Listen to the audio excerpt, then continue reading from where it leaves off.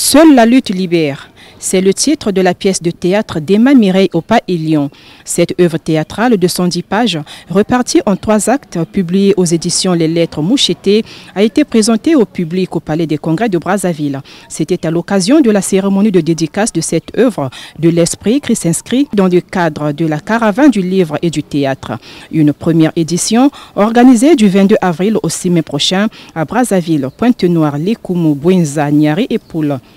Les mutilations génitales, l'émancipation, l'analphabétisme et l'éducation sont les différents thèmes évoqués dans cet ouvrage théâtral.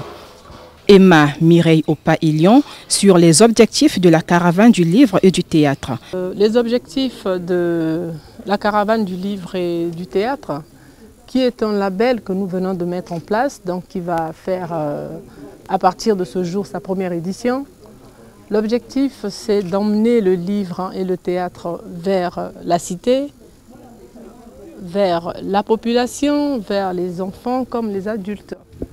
Nous voulons, par ce label, rapprocher le livre de nos maisons, de nos foyers, de nos écoles, pourquoi pas. Ferreol Ngasakis, un des participants à cette rencontre, se dit satisfait du travail abattu par la dramaturge. Euh, l'avantage que que peut avoir un, romancier, un littéraire, c'est justement donner un peu de, mélancolie, un peu de nostalgie à ce monde qui n'est pas du tout facile. Il faut encenser, il faut encourager, il faut dire aux Congolais de lire.